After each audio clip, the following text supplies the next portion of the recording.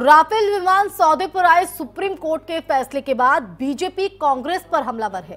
कानून मंत्री रविशंकर प्रसाद ने फैसले के बाद प्रेस कॉन्फ्रेंस में कहा कि राहुल गांधी और कांग्रेस ने देश को गुमराह किया है और ऐसे में उन्हें देश से माफ़ी मांगनी चाहिए।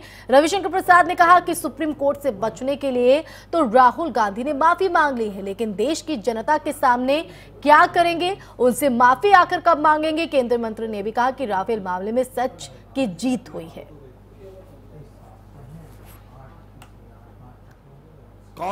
I would discuss in detail subsequently, but let me formally make a clear demand that Congress party must apologize to the country.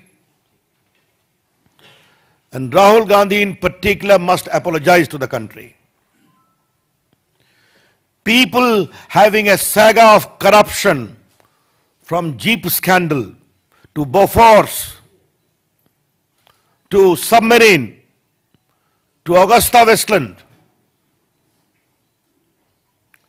were undertaking a political sponsored program, masquerading as the quest for justice.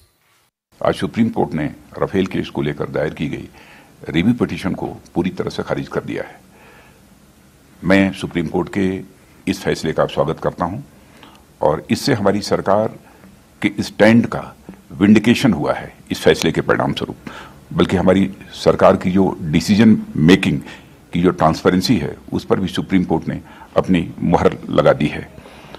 और Rafale के संबंध में जो भी निर्णय लिया गया था, वो पूरी तरह से पारदर्शिता के आधार पर लिया गया था। और साथ ही डिफेंस डिफेंस प्रिपेयर्डनेस की अर्जेंसी को ध्यान में रखकर यह फैसला किया गया था। राष्ट्रहित में यह फैसला था। और, मैं समझता हूँ कि डिफेंस प्रिपेडनेस से जुड़े हुए मामलों का किसी भी सूरत में राजनीतिकरण नहीं किया जाना चाहिए।